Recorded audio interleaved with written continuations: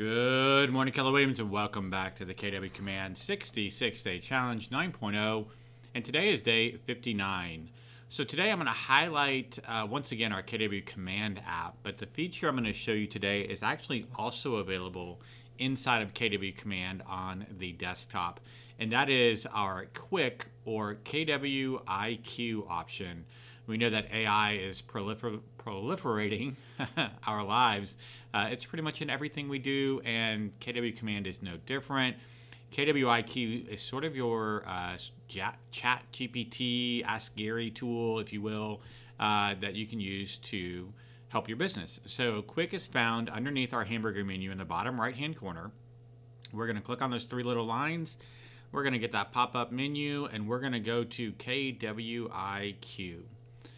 And essentially, this works like most of your Claude, ChatGPT, Gemini style uh, AI tools. You're going to give it a prompt, and then it's going to give you questions. Now, KWIQ or Quick is a closed language learning model, meaning that it has been fed a ton of stuff, but that stuff is all around Keller Williams. So think about uh, Millionaire Real Estate Agent, Shift, The One Thing, um, you know, all of our training materials, Ignite, etc. So it's not going to be t- probably not going to tell you what the capital of Texas is, um, and yet it's going to be able to tell you things like you see on the screen. So if you scroll down, you're going to get about five or six different prompts available to you. Um, and you can click on these and it'll actually just give quick that prompt and then provide you with the response. So I just clicked on the very bottom one there. What should I post on social media to engage more buyers? And here you go. It's feeding me now. We're up to nine, maybe 10. Can we go for 12? Uh, there we go. So 10 different types of things that I might consider posting on social media. And I'm just scrolling back up to the top so we can see all of this right? Just some ideas to get the juices flowing, if you will, how to engage more buyers on social media. Let's ask the reverse question, just for kicks and giggles. So I'm going to say to engage more sellers on social media. What should I be posting? And click on send. So here we go. It's going to scroll down to the bottom and we're going to see what sort of different items it gives us. So there you go. Some different items with regards to posts that you might consider on selling or sellers listing content. And it actually gave us 12 on this one. So uh, you might be in a training class and someone says Y4C2Ts and you're still pretty new to KW and you're like, what does that mean?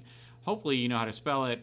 What is, and it's WI 4 Y4 C 2 T E S.